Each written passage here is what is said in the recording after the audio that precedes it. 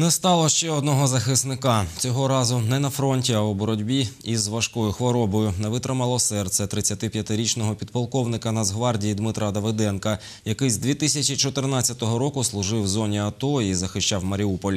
Після цього він займався вихованням молодого покоління у військовій частині 3033. Коли встановили діагноз гостра лейкемія, воїн пройшов три курси хіміотерапії, їздив на лікування до Мінська, але, на жаль, марно. Близькі та небайдужі люди простилися із захисником. Його поховають в Полтавській області. У Дмитра залишилися дружина і дочка.